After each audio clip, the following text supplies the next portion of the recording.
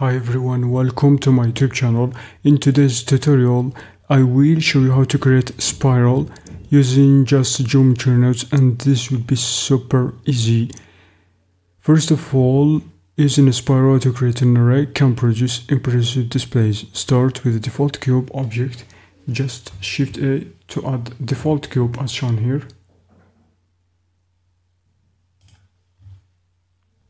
Click on Geometry Nodes workspace to open it up. Just, it's uh, great and super easy. We need uh, click uh, to click the new button in the header to create a pipeline, have instance object and the scene, add spiral node. Just first of all, click on new to start off working with uh, working with this default and geometry nodes as usual so shift shift a in order to search for some important nodes. The first node which is a spiral node. So let's type spiral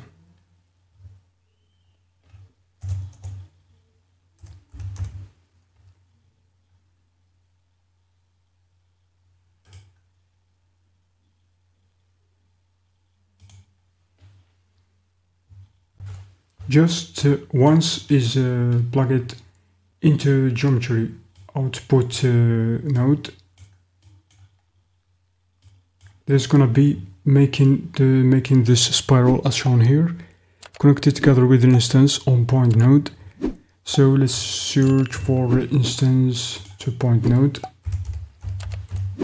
Instance uh, on point drag it in between these two different these two nodes the spiral node and the output node as shown here. So the UV sphere is entered in the object info node as instance object. So now uh, just uh, should disconnect this uh, group input node then go to search for object info, shift A to add object info node, object info node, drag it uh, under this uh, node over here, spiral node. So just let's uh, connect it to geometry, connect geometry to instance as shown here.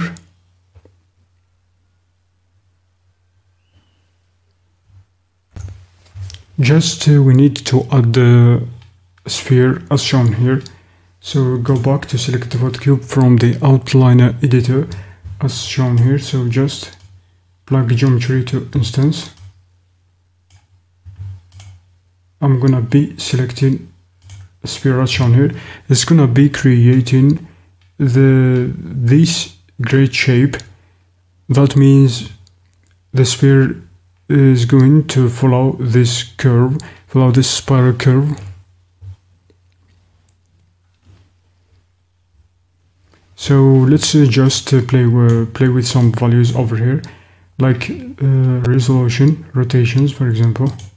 If you want to make much more rota rotations, and start radius if you want to change the radius, like this. So just uh,